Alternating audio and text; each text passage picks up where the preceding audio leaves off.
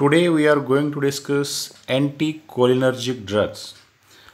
So anticholinergic drugs are also called as cholinergic receptor antagonist or muscarinic receptor antagonist or we call it as a parasympatholytics drugs or atropine like drugs. Atropine like means atropine is the prototype drug. Prototype drug means the drug which represent the whole class of the drug. So, cholinergic receptor antagonists are also called as atropine-like drugs. So, what is mean by anticholinergic drugs? Anticholinergic drugs are those drugs which antagonizes or blocks the effects of neurotransmitter acetylcholine on autonomic effectors and in the CNS. Anticholinergic drugs are, are those drugs which blocks or which antagonizes the effect of acetylcholine effect of neurotransmitter acetylcholine on muscarinic receptors or nicotinic receptors. So basically on the basis of receptors which type of receptors we classified these anticholinergic drugs into anti-muscarinic and anti-nicotinic drugs how they are classified on the basis of receptors. Means acetylcholine acts on the muscarinic receptors then acetylcholine acts on nicotinic receptors. So drugs which antagonizes the action of acetylcholine muscarinic receptor mediated action of acetylcholine we call it as anti-muscarinic. Then drugs which block the nicotinic receptor mediated action of acetylcholine we call it as anti-nicotinic drugs so basically anticholinergic drugs are classified into anti-muscarinic and anti-nicotinic. Then anti-nicotinic drugs are further classified into neuromuscular blockers and ganglion blockers. As we know, nicotinic receptors are of two main types, NN and NM. NM mean neuromuscular and NN mean neuronal or ganglion blockers. So on the basis of subtypes of the receptors of the nicotinic receptors, we have classified anti-nicotinic drugs into neuromuscular blockers and ganglion blockers. So all this dividation is based on the types of receptors and subtypes of receptors. So basically in today's lecture we are going to concentrate on anti-muscarinic drugs so muscarinic receptor sites, what are the various sites where muscarinic receptors are present? We know heart, exocrine gland like salivary gland, sweat gland, lacrimal gland. So these are the exocrine gland where muscarinic receptors are present. Smooth muscles of the GIT, genitourinary tract, urinary bladder, so these are the receptor sites, muscarinic receptor sites. Now this drug blocks muscarinic receptor mediated actions of acetylcholine. Anti-muscarinic drugs, most of the actions of acetylcholine are through the muscarinic receptors. So we call it as anti-muscarinic drugs. So these drugs blocks the muscarinic receptor mediated actions of acetylcholine. Now classification of the anticholinergic drugs. They are classified on the basis of the source from which they obtained. Means natural alkaloid in the form of atropine and scopolamine. These are the natural belladonna alkaloid. Means atropine obtained from the Atropa belladonna scopolamine or hyoscine they obtain from the Hyoscyamus niger. So these are the natural alkaloid. Then semi-synthetic and synthetic atropine substitute or atropine derivatives. Semi-synthetic and synthetic atropine derivatives means molecular modification and we can got the substance like semi-synthetic and synthetic atropine substitutes or atropine derivatives like atropine derivatives which are used as mydriatics like homatropine, cyclopentolate, tropicamide. Then atropine derivatives which we use in case of asthma like anti-asthmatic drugs like ipratropium bromide and tiotropium bromide bromide salts then the drugs which we use in case of peptic ulcer like pirenzepine telenzepine antispasmodic in the form of atropine methyl nitrate propantheline oxyphenonium dicyclomine vesicoselective antispasmodic. Vesicoselective means they are more selective towards the urinary bladder. So oxybutynin flavoxate tolterodine then atropine derivatives which are used as an anti-parkinson drug or centrally acting anti-parkinson drug like benzhexol benztropine biperiden and pre-anesthetic agents like scopolamine glycopyrrolate or atropine itself you can use as a pre-anesthetic agent. Then mechanism of action. Both natural and synthetic drugs acts competitively by blocking the muscarinic actions of acetylcholine. We call it as a competitive antagonism. Means, as you can see, this atropine and scopolamine, these are the anticholinergic drugs.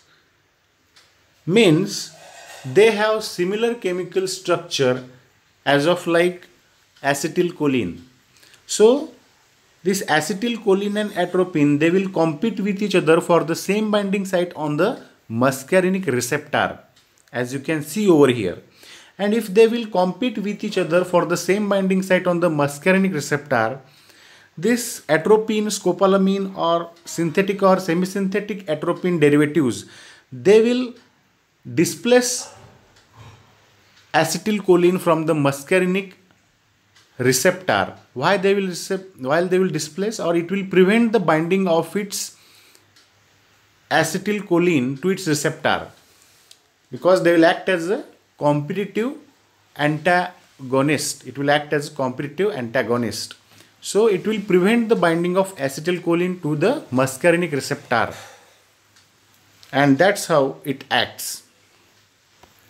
Now we'll discuss the atropine in detail because it's a prototype drug which represent the whole class of anticholinergic drugs. Atropine is a natural alkaloid which is obtained from Atropa belladonna. It's a natural alkaloid natural belladonna alkaloid which is obtained from Atropa belladonna. It's a tertiary amine. It's a tertiary amine and it's a prototype drug. Then what are the various effects of atropine on the CNS? It acts as a mild CNS stimulant when it is given at a therapeutic dose. When it is given at a therapeutic dose, it acts as a mild CNS stimulant then it has anti-Parkinson effect. It controls the tremors and rigidity in case of drug-induced Parkinsonism. It has anti-Parkinson effect and it has anti-motion sickness effects also. That means it reduces or decreases the vestibular excitation and that's why it has anti-motion sickness effects also. But at higher doses, it may cross blood-brain barrier and it may lead to the excitement, restlessness, agitation, hallucination, delirium, depression, coma, medullary paralysis which causes death.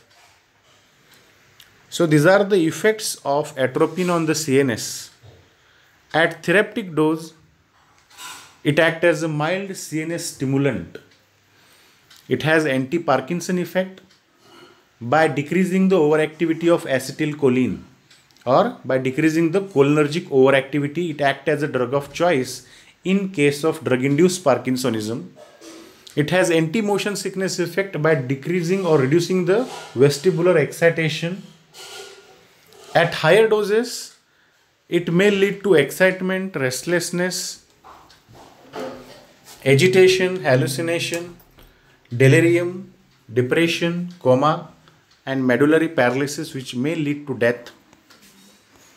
Then what are the effects of atropine on the cardiovascular system or particularly on the heart. At low doses, it causes bradycardia and at therapeutic doses it causes tachycardia.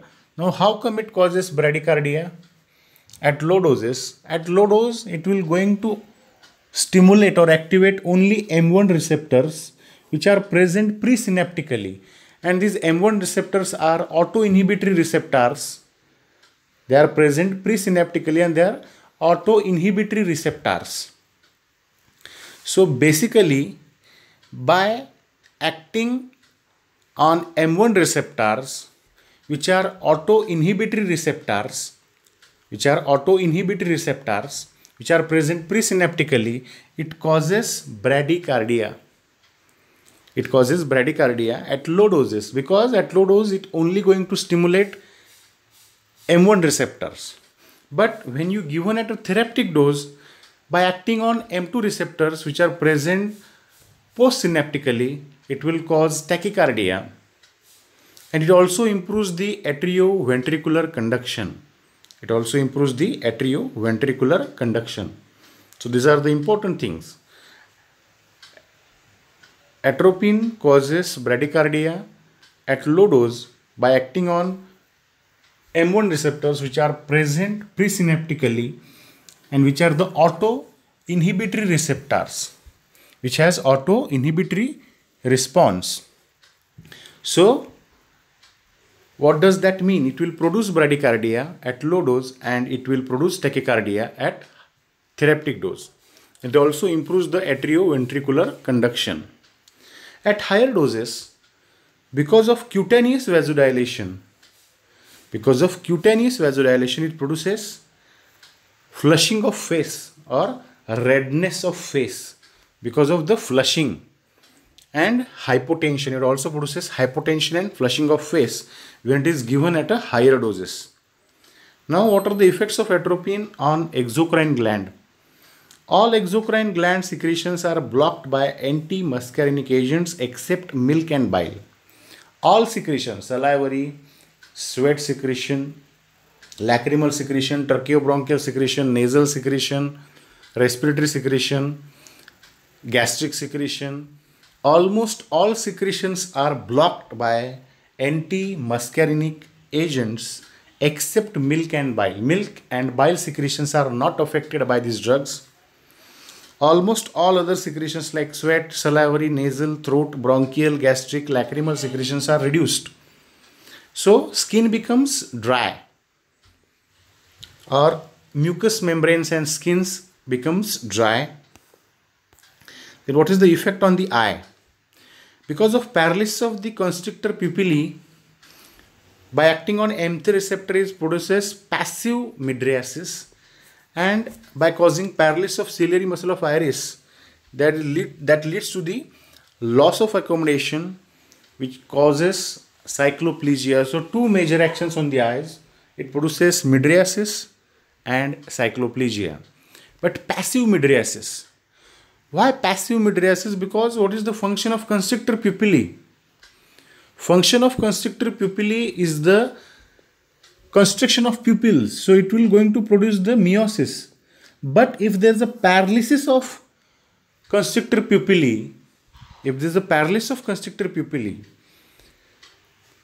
so we call it as a passive mydriasis because the dilatation of the pupil is caused by the dilator pupillae.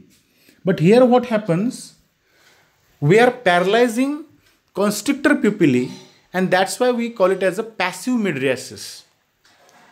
Then paralysis of the ciliary muscle of iris by acting on the M3 receptors, there is a loss of accommodation and that will lead to the cycloplegia. Means there is a loss of distinct vision and loss of near vision also.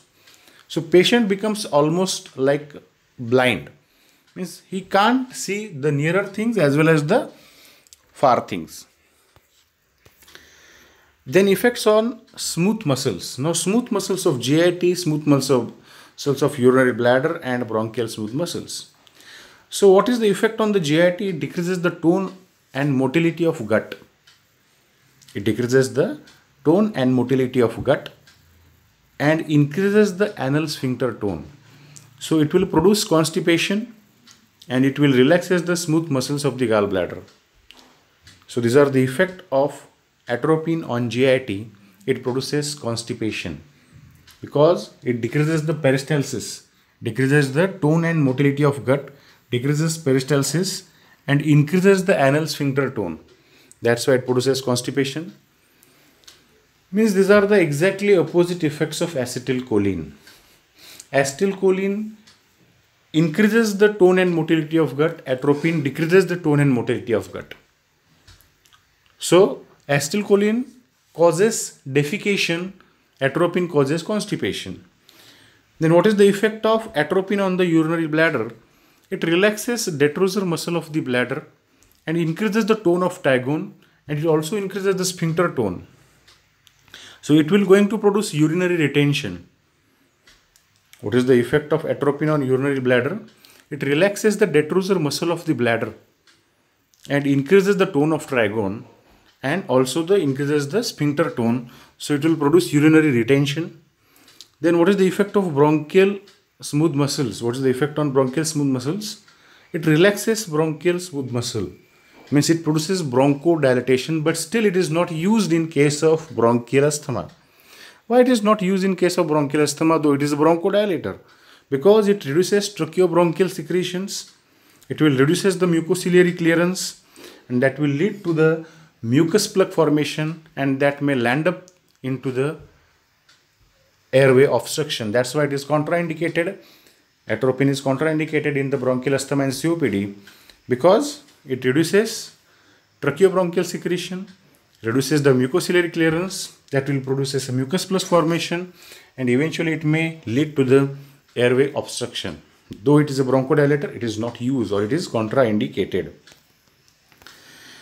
Pharmacokinetics, atropine, scopolamine and most of the other synthetic tertiary amines are well absorbed from the conjunctiva and GI tract. They are widely distributed all over the body they are tertiary amines, so they will easily cross blood-brain barrier. They are partly metabolized in the liver and partly excreted unchanged in urine. Now, what are the therapeutic uses of atropine substitute?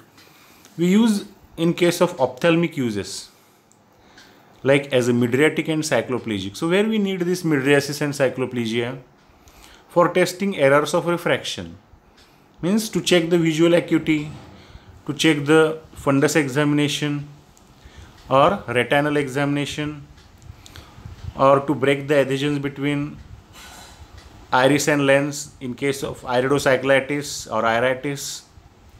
So these are the ophthalmic uses in which uh, we use atropine substitute as a mydriatic and cycloplegic. So atropine eye drops are preferred in children because of greater efficacy atropine eye drops are preferred in case of children because of greater efficacy. But the problem or disadvantage of atropine eye drops, action of atropine lasts for 7 to 10 days.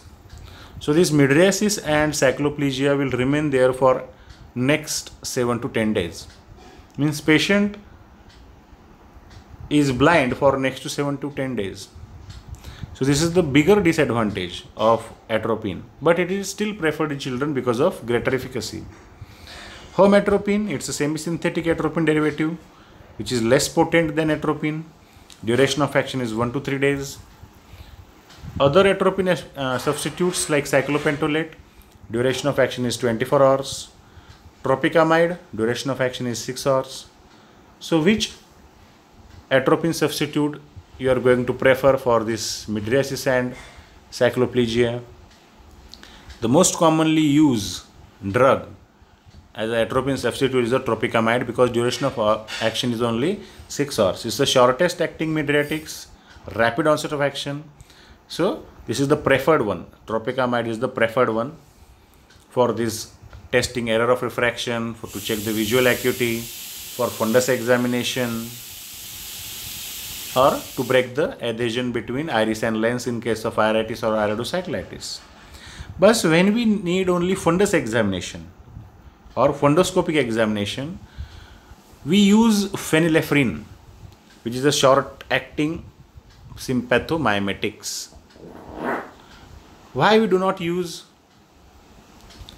all these tropicamide, cyclopentolate. Why we use phenylephrine? Because in that case, in fundus examination, we only require mydriasis, no need of cycloplegia. So unnecessary, unnecessarily, it will produce cycloplegia, all these drugs. So we'll prefer phenylephrine, which produce only mydriasis.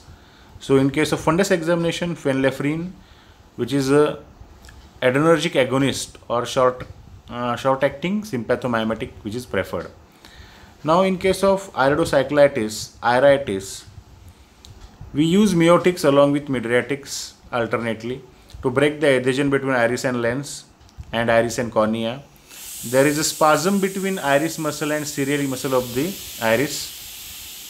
So it atropine relaxes this muscle and relieve the painful spasm. Atropine relaxes this muscle and relieve the painful spasm.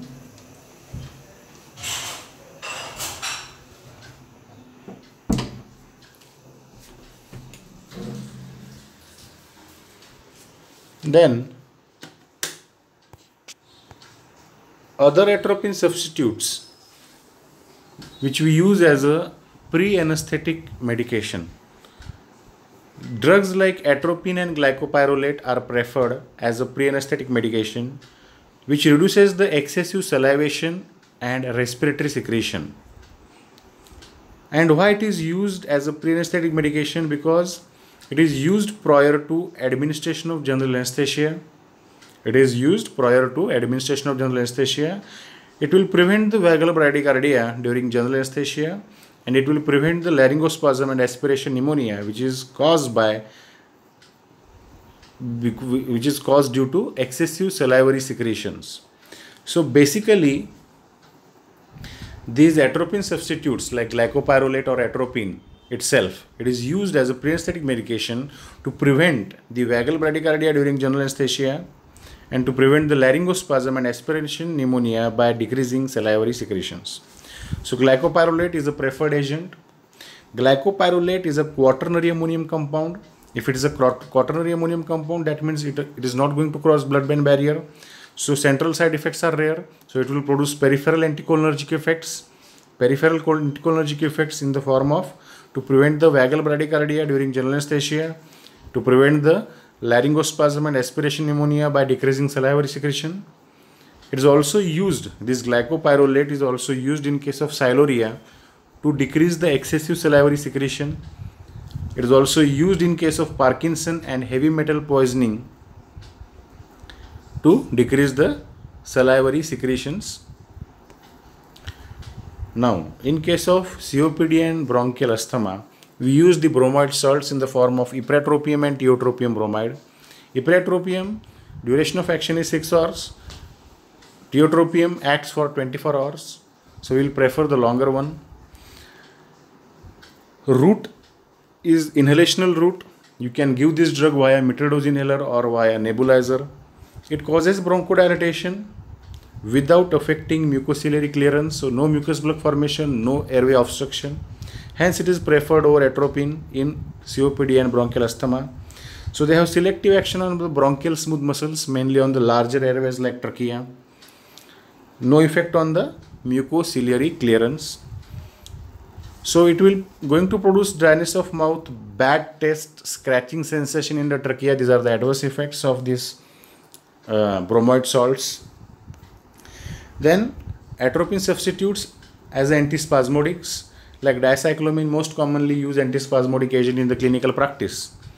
Dicyclomine is a direct smooth muscle relaxant. It's a direct smooth muscle relaxant. It has weak anticholinergic action. It exerts antispasmodic action in the dysmenorrhea, abdominal colic, renal colic, biliary colic.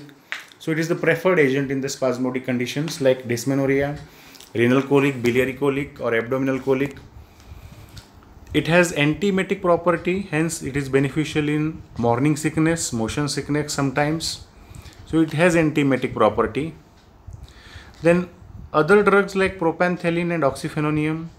Propantheline is used in peptic ulcer and gastritis by reducing the gastric acid secretion and delaying the gastric emptying time. So it is used in case of peptic ulcer and gastritis.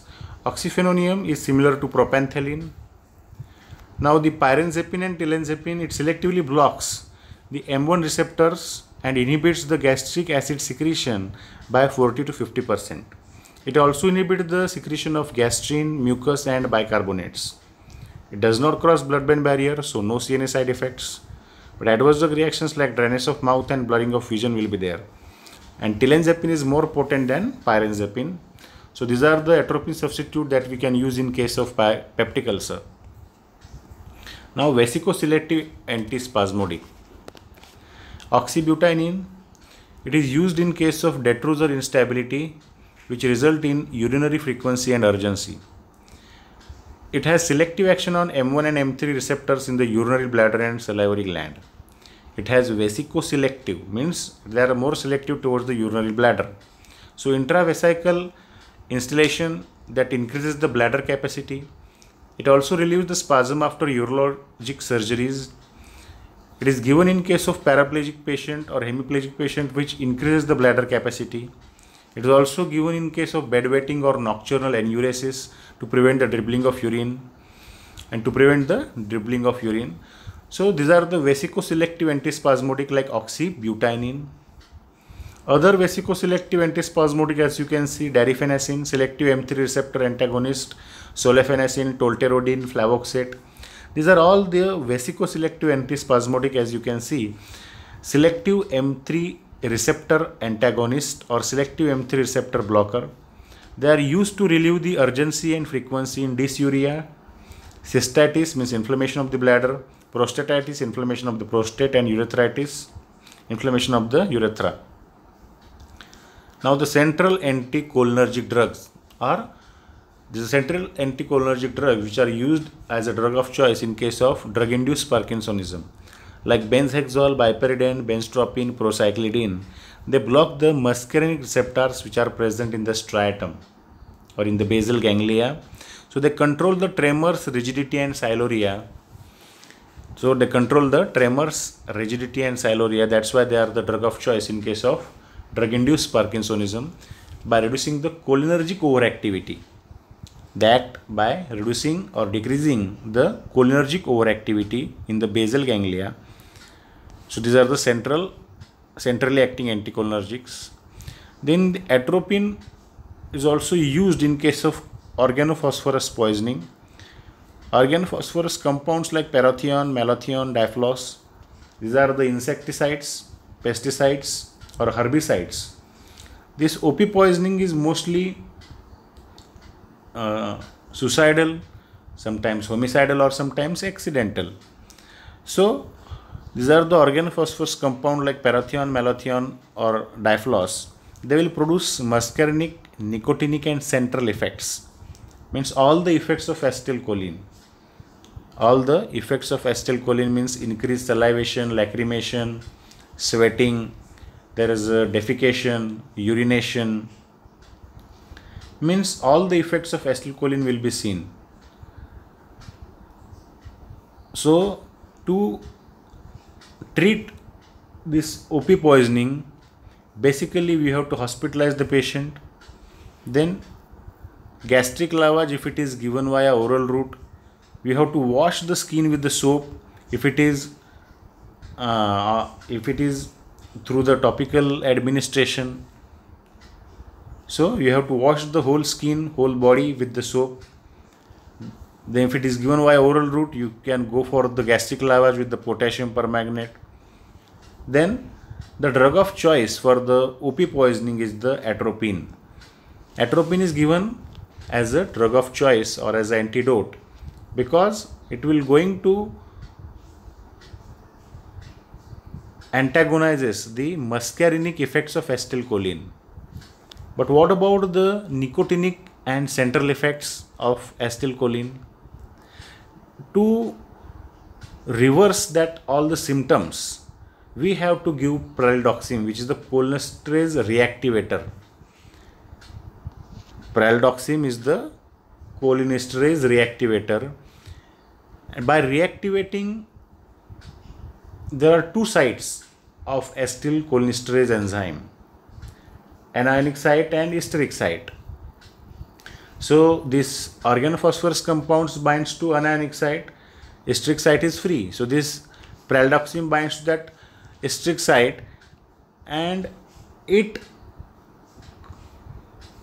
causes the reactivation of that enzyme and it will free that particular enzyme from that organophosphorus compound. So basically it's a cholinesterase reactivator. So this atropine and pralidoxime they are used in case of organophosphorus poisoning. Then atropine is also used in case of mushroom poisoning, particularly in case of inocybe species. Particularly, it is used in case of inocybe species, which is a drug of choice. Atropine is a drug of choice in case of mushroom poisoning, particularly inocybe species. But other species like Amanita phalloides or Amanita muscaria, there is no specific antidote or we can say atropine is contraindicated. Then what are the adverse effects of atropine? Adverse effects of atropine like or we can say atropine poisoning or belladonna poisoning these are nothing but the extension of the pharmacological actions of atropine. So we call it as hot as a hare, red as a beetroot and dry as a bone, blind as a bat and mad as a hatter. Now what is meant by hot as a hare? Hot as a hare means there is a hyperpyrexia, there is an increase in the body temperature because all the secretions of the body like sweat gland is affected means all the secretions are inhibited so there is a hyperpyrexia the increase in the body temperature so we call it as hot as a hare then red as a beetroot. Why red as a beetroot? Because there is a cutaneous vasodilatation that leads to the flushing of face redness of face. So all body becomes red. So beet red as a beetroot dry as a bone all the secretions skin and mucous membrane becomes dry because all the secretions are inhibited blocked. Nasal lacrimal tracheobronchial salivary sweating all secretions are inhibited. So skin and mucous membranes becomes dry so dry as a bone. Blind as a bat because of cycloplegia and mydriasis patient becomes blind as a bat. Can't see anything. Mad as a hatter because when it crosses blood brain barrier it will produce excitation hallucination delirium agitation. So patient becomes mad as a hatter. So these are the adverse effects of atropine or these are the signs and symptoms of atropine poisoning or belladonna poisoning. Now, how will you treat this? How will you treat this atropine poisoning or belladonna poisoning? Simply, you have to hospitalize the patient, gastric lavage with the help of potassium permanganate. If there is a hyperpyrexia, then you can go for the tepid sponging. If there is some convulsions, then you should go for diazepam and the most important thing, drug of choice is the physostigmine, which is a cholinergic agonist. You can give physostigmine as a drug of choice because it will going to reverse all the actions of atropine. Means in case of organophosphorus poisoning, we give atropine, but in case of atropine poisoning, we give cholinergic agonist in the form of physostigmine. So these are the drug interactions of atropine. If you give antihistaminics like H1 blockers, tricyclic antidepressants, or phenothiazines like antipsychotics, they have atropine-like action and they may potentiate the actions of atropine. The next drug is the scopolamine. Scopolamine is the natural belladonna alkaloid which is obtained from the Hyoscyamus niger. That's why it is also called as the hyoscine. CNS effects. It has prominent CNS depression, sedation, anterograde amnesia. So basically these are the exactly opposite effect in case of CNS because atropine produces CNS stimulation, it will produce CNS depression. It may also cause sedation and anterograde amnesia. It has anti-secretory effect. It has anti-secretory effect, anti-motion sickness effect.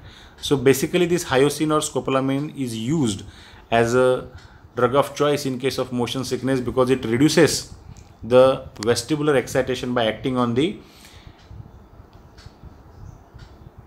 M3 receptors which are present on the vestibular apparatus.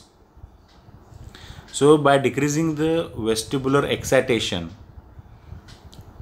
by acting on the M3 receptors which are present on the vestibular apparatus, it acts as a drug of choice in case of motion sickness. So it has anti-motion sickness effect. It can also used as antispasmodic effect. The most commonly used drug that is the Buscopan, the brand name of the drug, and the content is the hyoscine butyl bromide. So it is given as a drug of choice as an antispasmodic drug in case of the biliary colic, renal colic, abdominal colic, or uh, in case of any spasmodic condition. Then it is also used as a truth serum in lie detector test because it induces the twilight sleep. Because of anterograde amnesia patient cannot lie. That's why it is used as a truth serum in case of lie detector test. And as i said it is used as a drug of choice in case of motion sickness. Means it is also available as a transdermal patch for the motion sickness. And the duration of action of the scopolamine or hyoscine increases up to 7 days. So uh, for um, 72 hours not 7 days. So it is also available as a transdermal patch. Duration of action is 72 hours. Means when it is taken orally you have to uh, take it before 30 minutes uh, prior to uh, before starting the journey and uh, the effect will remain for 6 to 8 hours. But if you are taking this drug in the form of transdermal patch the effect will remain for next 72 hours for at least 3 days. Then adverse drug reactions like it will going to cause sedation and dryness of mouth because of anticholinergic action. Now these are the differences between atropine and scopolamine.